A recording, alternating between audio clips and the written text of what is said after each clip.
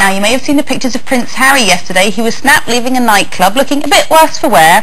And although the royal has entertained us with a variety of style faux pas over the years, never before has he been seen with hot pink fingernails, which he allegedly allowed a female clubber to paint in the VIP lounge. So it begs the question, why do we think some things are so hilarious when we're drunk? They are.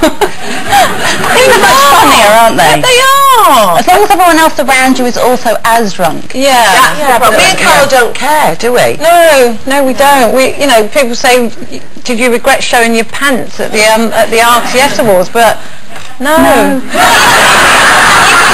not even No, um, no. I, I was only... I can understand you because yours were really nice lacy pants, but yours Yeah, were just just mine, mine, mine were pants, yes, I do, I do Down to remember. knees, down to down to my knees. knees. But because I'd heard in our drunkenness, I'd heard that Carol had flashed, and I somehow, when I'm drunk, seem to think that people want to look at my underwear, and they don't. so I was trying to see if I could flash my boobs at the cameras because Carol had done it, and I couldn't get it off, so I just went outstairs and lifted, but, outside, lifted my desktop. Panicking because they're Panicking too tight. I can't let it flash. I can't flash.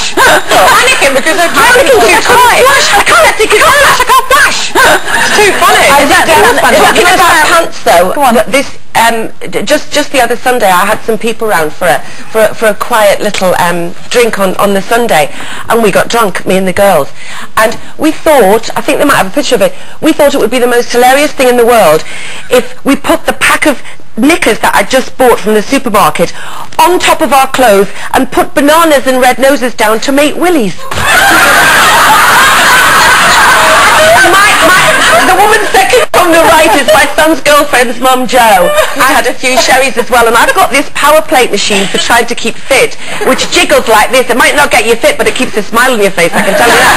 jiggles like this, and her and I were drunk, contorting ourselves into these shapes on the power plate. And I just remember turning around, and Matt and Jodie came in and just did that. Walked out, walked out and got in the car and drove away. But it, yeah, but it, you know, it, it's funnier. I know, it's, but it's when you wake up and you start, at first you don't really remember anything and then you start having these sort of flashbacks of things come back to you. I remember Yeah. once when, this, was- this before I moved to the States, I was just there for a weekend interviewing someone, I can't remember who, and I was there with my good friend Helena who works for EMI, and we were staying in a ho- hotel, and then, but we went to dinner at a different hotel. Anyway, so I wake up the next morning, and on the dressing table there's loads of really gorgeous silver cutlery. Just loads and loads of it. And at first I thought, I don't remember ordering room service or having that many people back in my hotel. And then I looked at the cutlery and it said Beverly Hills Hotel on it, but I wasn't staying at the Beverly Hills Hotel.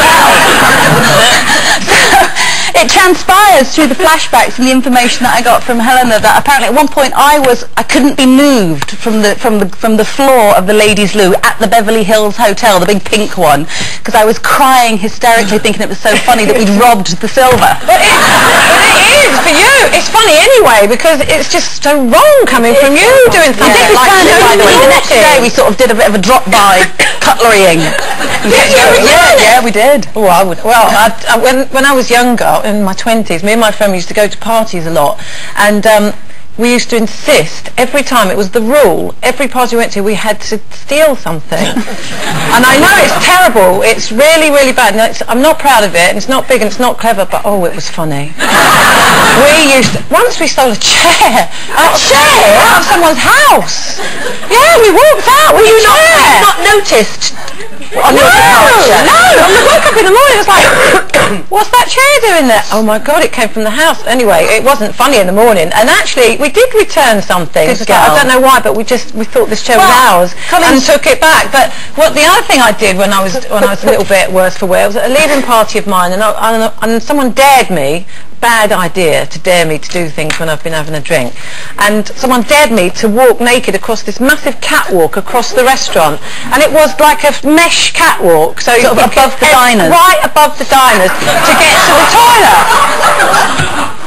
Oh, did. Did you? I did. I honestly did. I took all my clothes off at the bottom of the stairs, walked up, walked over to the toilet door, walked back, put, walked back downstairs and put, put my clothes back Oh, on. did you get a round of applause or? or did they all just stop eating Yeah. and leave?